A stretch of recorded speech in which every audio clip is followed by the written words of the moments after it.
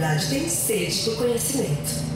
Esse é um convite para embarcar em uma experiência digital imersiva. Nosso horizonte é cheio de desafios. Encaramos pandemias, mudanças climáticas, uma população mundial crescente e recursos naturais limitados. A experiência tem feito parte da rotina dos alunos na Escola Honório Miranda, no centro de Gaspar. O objetivo é divulgar os diferentes temas científicos pesquisados no Centro Nacional de Pesquisa em Energia e Materiais, o CNPEM. Lançar nosso olhar sobre o mundo microscópico é o que fazemos no CNPEM, o Centro Nacional de Pesquisa em Energia e Materiais. Tudo acontece dentro de um domo instalado na quadra da escola. Trata-se de uma estrutura geodésica com aproximadamente 10 metros de diâmetro, que possibilita uma experiência imersiva com o uso de projeção interna. A gente tem pesquisas lá é, em diversas áreas do conhecimento, mas todas elas têm em comum o fato de que a gente investiga a intimidade da matéria, né? então a gente investiga os materiais nas escalas dos, dos, das moléculas e dos átomos, pensando em resolver problemas que são, serão importantes para o nosso, nosso futuro.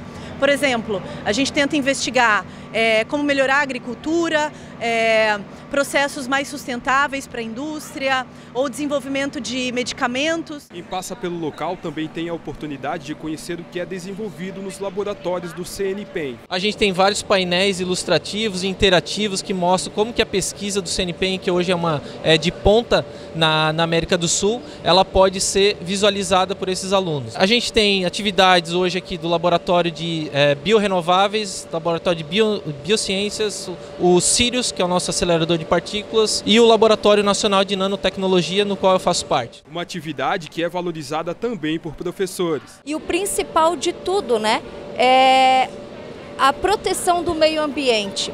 Eles trazem ali a questão de estudos de vírus, a questão de, a, de solo, né, da estrutura onde nós estamos localizados. Então isso eu, eu fico muito lisonjeada em estar presente e, e ter a oportunidade de prestigiar com os jovens é, esse tipo de conhecimento, esse tipo de benefício. Mas como essa ação foi parar em Gaspar? A escolha de Gaspar é porque a gente tem uma escola é, que a gente faz para professores para explicar um pouco é, sobre a ciência que a gente faz lá, né? E principalmente a ciência que se faz no Sirius, que é o nosso acelerador de partículas, que é o principal projeto da ciência brasileira hoje, né? O mais avançado. E a gente tem uma escola que a gente é, tenta passar um pouco para os professores é, o que se faz lá nesse centro. E os professores que tiveram um destaque é, nessa escola, a gente escolheu um de cada região do país para receber esse projeto nas suas escolas.